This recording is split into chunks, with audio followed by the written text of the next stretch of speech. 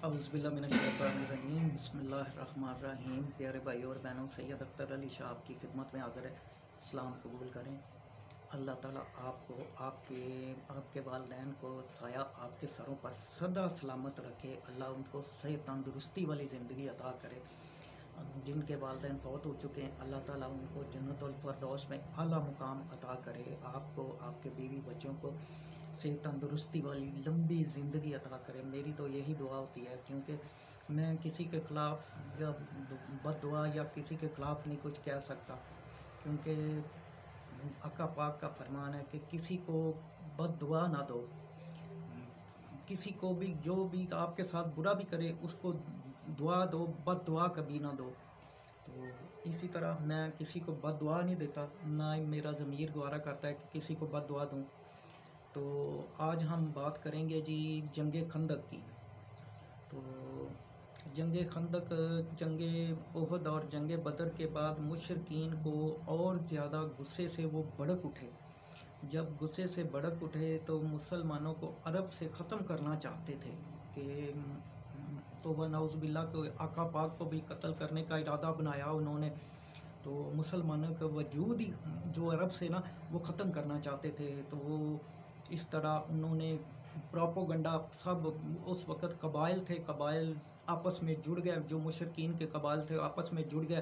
तो आपस में जुड़ के उन्होंने वो मशवरा, सलाह मशवरा किया और कहा कि अब मुसलमानों को किस तरह किस तरह शिकस्त देनी है।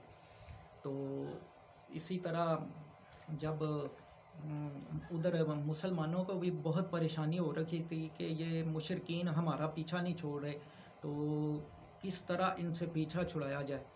तो इसी तरह आका पाक सब मस्जिद नबवी में बैठे हुए थे। तो हज़रत सुलेमान फ़ारसी ने आप सुलेमान फ़ारसी ने आपको मदीने के, एक तरफ़, क्योंकि तीन तरफ़ तो मदीने के ना, तीन तरफ़ अतराफ़ में ना पहाड़ हैं। तो एक तरफ़ जो है ना, वो जो खाली थी। तो सुलेमान फ़ारसी ने कहा कि सरकार जो है ना जिस जिस तरफ़ से रास्ता है मदीने को आने का, उस तरफ़ खंदक खोद दी जाए। तो आका पाक को सुलेमान फ़ारसी की बात बहुत अच्छी लगी।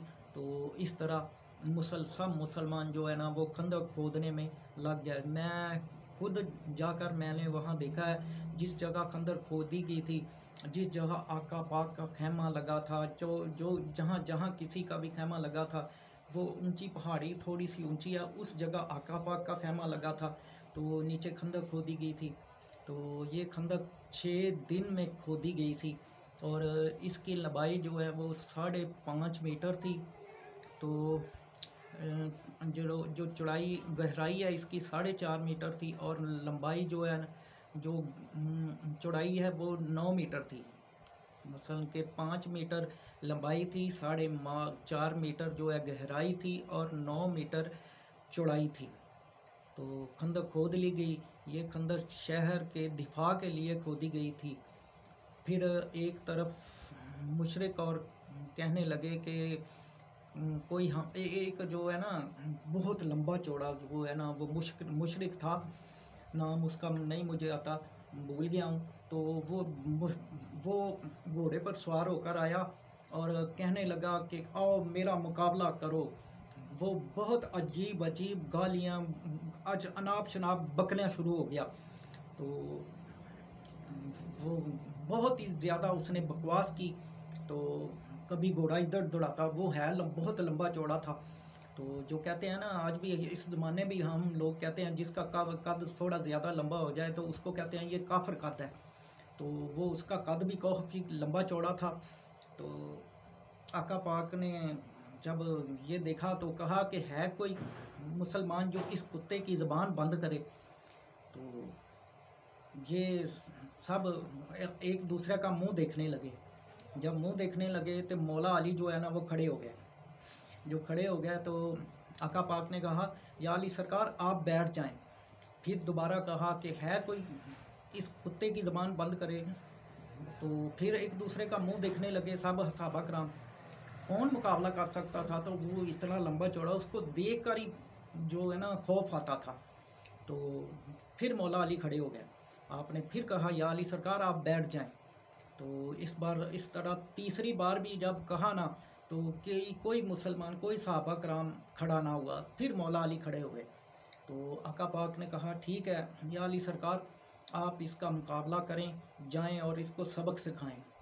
तो अली सरकार को अपनी ज़िरा सब कुछ, जो जंगी जंगी सामान था ना, वो अपना पहनाया और उससे लड़ने के लिए भेज दिया। जब आप सामने मद्दे मुकाबल जा खड़े हुए, उसने कहा कि या अली सरकार, आप मेरा मुकाबला करोगे? तो या अली सरकार ने कहा हाँ मैं मुकाबला करूँगा। करो बार तो जो मुशरकिन थे ना, बाकी मुशरकिन उसके साथी, वो खंदक के दूसरी तरफ़ खड़े होकर बहुत मज़ाक कर रहे थे, हंस रहे थे, अजीब अजीब जीब जो फिक्रे कस रहे थे। तो वो जब वार किया, उसने वार किया तो मौला अली सरकार ने उसका वार रोका। वार रोकते रोकते मौला अली यकदम हवा में जुल्फकार लहराई लहराई और उसकी टांग काट दी। जब टांग काट दी, वो गिर पड़ा। जब गिर पड़ा तो अली सरकार कहने लगे, इसलिए तुझे तुम्हारी टांग काटी है कि तुझे पता हो कि जब घोड़ा लंगड़ा हो जाता है तो उसको क्या तकलीफ़ होती है। उसको गिरे बाँध से पकड़ा तो जब ऐसे मारने लगे हैं ना तो उसने क्या किया? या अली सरकार पर अपना थूक दिया। जब या अली सरकार पर थूक दिया तो या अली सरकार ने उसका गिरेबान छोड़ दिया। जब छोड़ दिया तो सब लोग हैरान हो गया कि ये क्या मौला अली सरकार ने इसको छोड़ दिया, ज़िंदा छोड़ दिया? तो पूछा गया मौला अली से कि आपने इसे क्यों छोड़ा? तो या अली सरकार ने जवाब दिया कि मैं इस्लाम की खातर इससे लड़ रहा था। तो अल्लाह और अल्लाह के रसूल और दीन की खातर लड़ रहा था। तो जब इसने मुझ पर थूका तो वो मेरा बदला हो जाता। वो वो मेरा ज़ाती मफाद आ जाता कि मैंने गुस्से में आकर इसको मार डाला। तो मैंने इसलिए इसको छोड़ दिया है। तो इस तरह जब आका पाक ने कहा, इसको मारो, इसको ख़त्म कर दो तो याली सरकार ने फिर उसको ख़त्म कर दिया। जब मुशरकिन ने ये देखा कि वो जो हमारा सरदार था, वो तो मारा गया। जब मारा गया तो उनमें से एक एक करके ना, जो मुशरकिन थे ना, वो भागना शुरू हो गए। जो भागना शुरू हो गया तो इस तरह इस्लाम को जंग खंदक में भी फतह हासिल हुई। तो जब भागना शुरू हुए इस्लाम की हमेशा से अल्लाह ताला और अल्लाह के रसूल और पंचन पाक जो है, सबने मदद की है इस्लाम की, क्योंकि ये दीन सच्चा है, हकीकी है। क्योंकि अल्लाह ताला को सबसे ज़्यादा पसंद जो है ना, वो इस दीन इस्लाम है।